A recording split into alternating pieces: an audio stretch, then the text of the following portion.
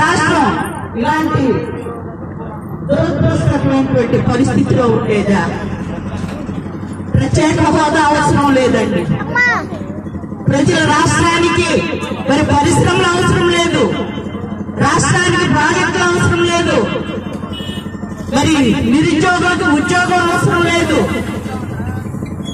మనం అందరం ఏమైపోయినా ఇప్పుడున్నటువంటి ప్రభుత్వానికి అవసరం లేదండి.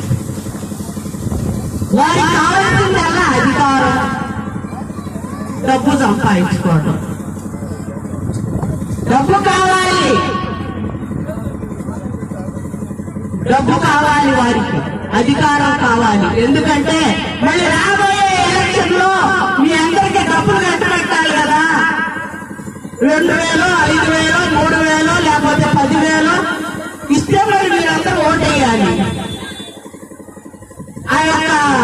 నమ్ముకొని ఎన్ని రోజులు తింటామండి ఆ డబ్బుని.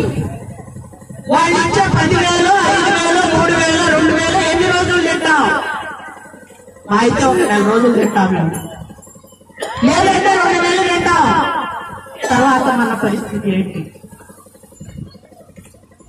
తర్వాత మన యొక్క భవిష్యత్తు ఏంటి? మన కుటుంబ భవిష్యత్తు ఏంటి? మన పిల్లల భవిష్యత్తు ఏంటి? ఒక్కసారి ఆలోచించండి. ఈ దొండపాడు గ్రామం తిరిగిన రోజునే ఇక్కడ పరిస్థితి అంతా నేను గమనించాను. ఈ డ్రైనేజ్ సిస్టమ్ కానివ్వండి రోడ్లు కానివ్వండి మరి లైట్లు కానివ్వండి ఈ ఎలక్ట్రికల్ సిస్టమ్ కానివ్వండి ప్రతి ఒక్కటి గమనించడం జరిగింది. ఎంతో మంది అక్కలు చెప్పుకున్నారు అమ్మ మీరు వైఎస్ఆర్సీపీలో ఉన్నారు కాబట్టి వాళ్ళకి పెన్షన్ లేదు. వాళ్ళకి ఏజ్ తగ్గిందనో లేకపోతే ఏదో ఒక కారణం చేత వాళ్ళకి పెన్షన్లు తీసేసినటువంటి పరిస్థితి ఈ రోజు. ఇక రేషన్ షాప్కి వెళ్తే మీకు ఏ సరిగ్గా పడలేదు మీకు రేషన్ లేదు. ఆల్రెడీ రేషన్లో బియ్యం తప్ప రెండో లీటర్ లేదు. అన్ని ఎత్తేసే ఉన్న బియ్యాన్ని కూడా ఏ రూపాయలు ఎక్కడ పెట్టారు. ఇంకా పేదవాడు ఎలా బతుకుతాడండి? రెండు వేల ఐదు వందలు పెన్షన్ ఇస్తున్నారు.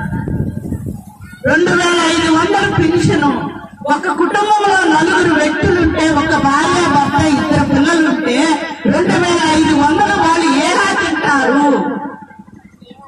వాళ్ళు ఎలా బతుకుతారు పని చేసుకోవడానికేమో పనులు లేవు. రాజధానిలో ఉన్నటువంటి పనులన్నేమో ప- పై రాష్ట్రం నుండి వచ్చి చేస్తారు. ఇక్కడున్న ప్రజలేమో ప్రజలు కాదు. ఇక్కడున్నటువంటి మనోళ్ళు ఇక్కడున్నటువంటి లేబర్ లేబర్ కాదు.